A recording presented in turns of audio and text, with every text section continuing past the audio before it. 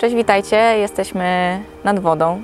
Bardzo się z tego powodu cieszę, bo możemy sobie wreszcie powędkować.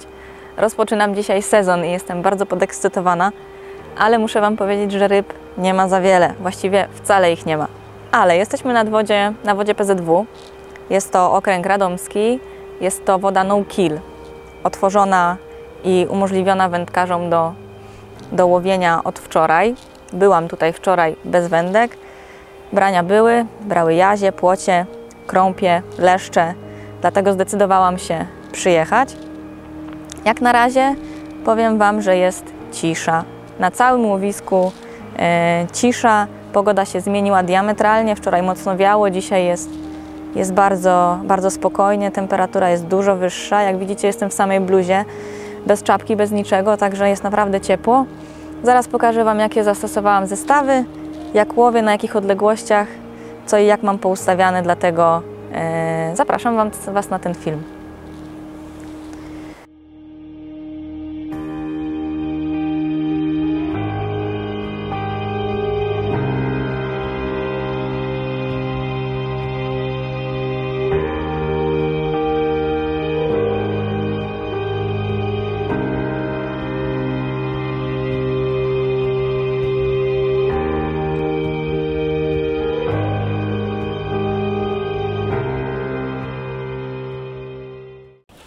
Przygotowałam sobie dzisiaj zanętę.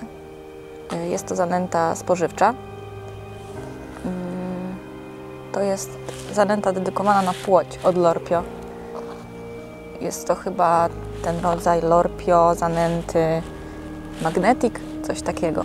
Mam tutaj również mielony chlebek y, jako dodatek, jako taki jakby atraktor i myślałam, że może to dwawi rybki do do większego żerowania. Dodałam także ziemi, także zanęta jest uboga, ale wzbogacają ją malutkie pineczki. Tak to wygląda. Jest dosyć sypka, bez grudek, przesiana przez sito. I taką zanętkę ładuję sobie do małych koszyczków.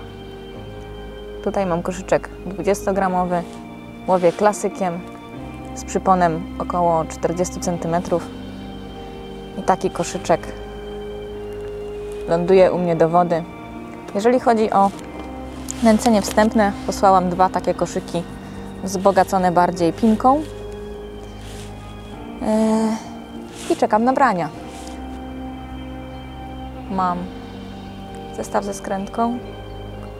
Tutaj macie skrętkę. Koszyczek jest na szybko złączce takiej z koralikiem.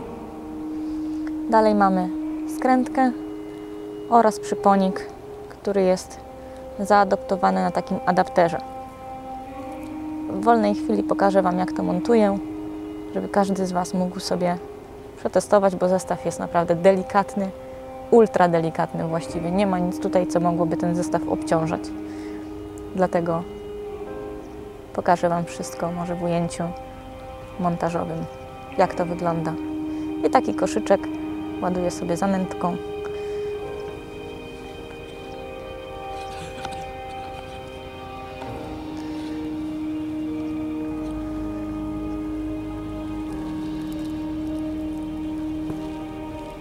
Zaraz pokażę Wam to bliżej.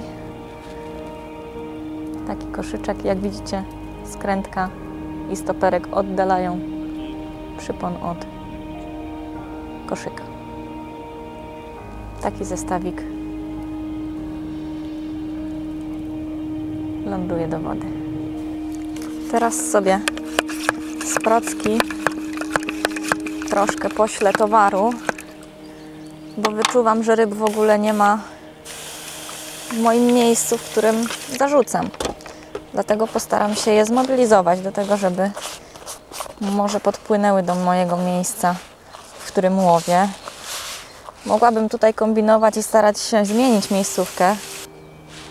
Wczoraj przyjechałam tutaj bez wędek, zorientować się, jak w ogóle wygląda ta woda, popatrzeć.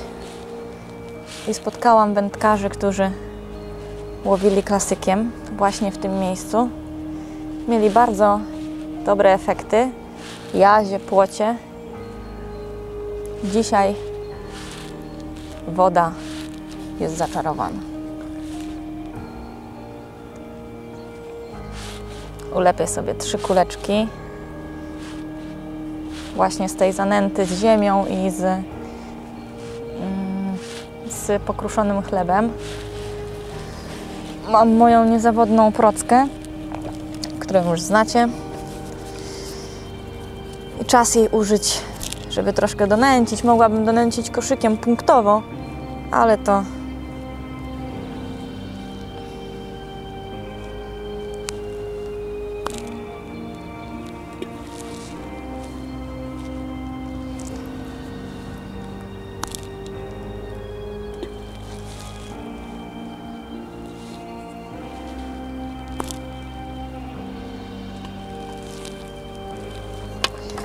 Zaraz ulepimy następne. Bo trochę mi jedna poleciała nie tam, gdzie, gdzie chciałam. I za każdym razem, jak lepicie kulki, którymi chcecie donęcić, to lepiej ich ulepić od razu więcej i nie donęcić nimi za jednym zamachem, bo jak nęcicie, to widzicie, gdzie wpada. I ja mam taką technikę, że jak rozchodzą się te oczka po wylądowaniu tej kulki w wodzie, to wiem wtedy mniej więcej, gdzie ja tą procką strzelam. I teraz na przykład już nie mam tych kółeczek i muszę na czuja. I to jest już za blisko, bo wiem, pamiętam. I ciach. O, mniej więcej tam gdzieś. Może to poskutkuje. Zobaczymy. Przerzucę teraz mój zestaw.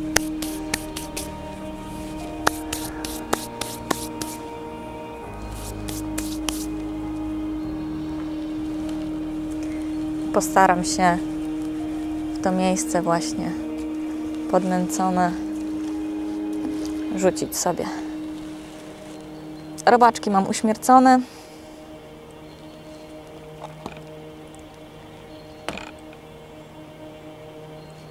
Wezmę trochę stąd. Robaczków.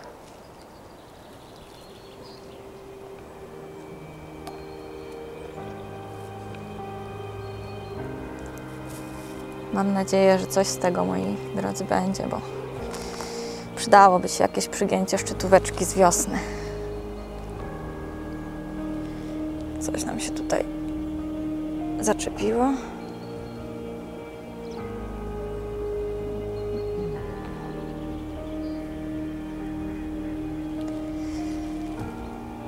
Ale bez dramatu. Dobra. Rzucamy w to miejsce, w to miejsce, które podstrzeliłam.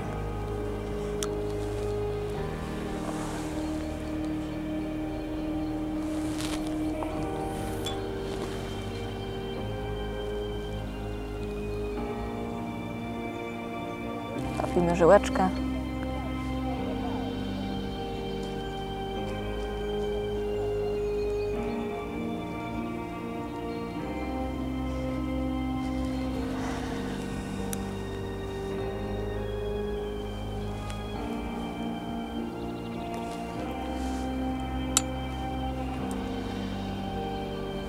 Czekamy.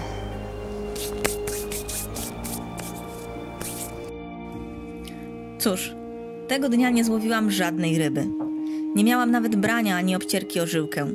Intensywnie analizowałam wszystko krok po kroku. Moje mieszanki, zestawy, dobór miejsca, porę dnia czy dystans. W obrębie mojego stanowiska właściwie nie było żadnego życia w wodzie. Dawało mi to sporo do myślenia. Chyba zbyt mocno też weszła mi do głowy myśl, że dzień wcześniej w tym miejscu ryba miała swoje żerowanie. To mnie zmyliło. Było mocno po południu i słońce zdążyło już wtedy ogrzać ten brzeg, a wiatr boczny sprawiał, że brzeg był osłonięty. W mojej porze łowienia siedziałam całkiem w cieniu, a słońce opalało wtedy pięknie przeciwny brzeg. Pozdrawiam też Mańka, który siedział właśnie wtedy na przeciwległym brzegu i zrobił już całkiem dobry wynik. Nie bójcie się blanków, mogą zdarzyć się zawsze i każdemu. Bez nich nie byłoby moich wniosków teraz. Słońce było kluczem do sukcesu. Ja bezmyślnie to zignorowałam i zbagatelizowałam działanie słońca. ale wrócę tam na pewno po piękne płocie i jazie. Pamiętajcie też, że to zbiornik no kill zaliczany do wód PZW. Dbajmy o niego, to nasza woda. Duże brawa też dla panów z PSR. Tyle kontroli, co w tym dniu nie miałam chyba w całym wędkarskim życiu. Haczyki bez zadziora, brak siatki, czystość i porządek, monitoring na łowisku to bardzo dobra sprawa. Każdy siebie tam wzajemnie pilnuje. Kusownik właściwie nie ma tam czego szukać. Naraziłby się na spore konsekwencje. Wędkowałam dzisiaj parę godzinek, ale nic się nie działo i czas się chyba złożyć. Mm, Podoba mi się bardzo woda. Jest czyściutko, widać, że ktoś o to dba, dlatego mam nadzieję, że tak, tak to pozostanie i mam nadzieję, że wszyscy po kolei, którzy będziemy tutaj łowić, przyczynimy się do tego, że ten zbiornik będzie, będzie nasz, będzie czysty, będzie wolny przede wszystkim od kłusownictwa i będzie można na nim się pobawić z rybą i połowić, sprawdzić sprzęt, techniki łowienia. Na to liczę. Ja dzisiaj wyciągnę na pewno dużo wniosków, o których poinformuję Was e, albo na kanale, albo na Facebooku, na swojej stronie. E, Dlatego na pewno mam nad czym myśleć i mam jaką taktykę obmyślać na następny wyjazd. Stała się dzisiaj też rzecz straszna, ponieważ złamałam szczytówkę od kija Trabuco, od selektora, którego znacie z poprzednich filmów. Niestety będzie trzeba go zreanimować. Mam nadzieję, że się to uda. Przeszukam internet, jak to zrobić i, i myślę, że będzie ok. Zaraz Wam pokażę, jak to się, co to się wydarzyło, co to się stało. Moja szczytóweczka jest w dwóch częściach. Tu jest wędeczka, tu jest szczytóweczka.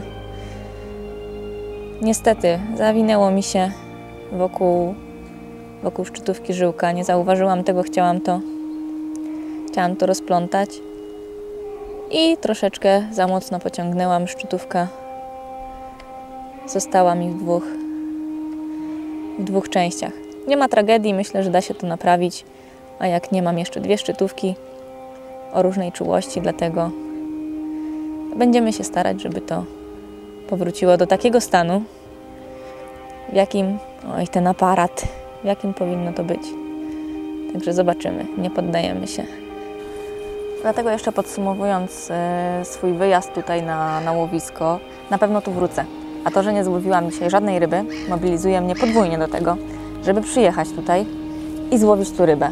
Dlatego wyciągamy wnioski i wracamy na Jagodno y, niebawem z nowymi pomysłami, z wyciągniętymi wnioskami. Zobaczymy. Także zapraszam do kolejnych filmów. Wędkarska Piątka.